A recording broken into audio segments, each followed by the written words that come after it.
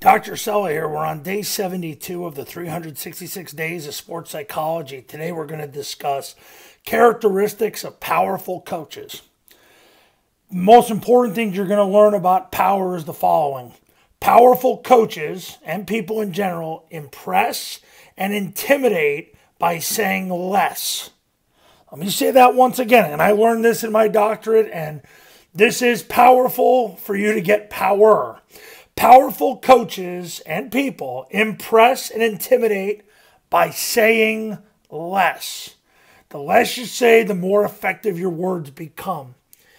The more you as a coach say to your players, coaches, and stakeholders, the more foolish you become because the more you explain, the more you drain yourself and the more you drain the people, and it triggers their fight flight response, and they want to get away from you.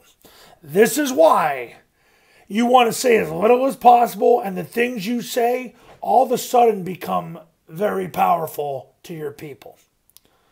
So, characteristics of powerful coaches use few words.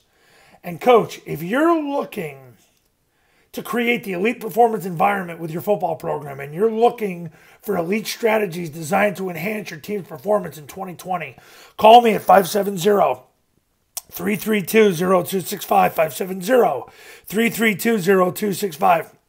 The Sports Psychology for Football Academy is going to empower you with advanced strategies designed to enhance your team's performance.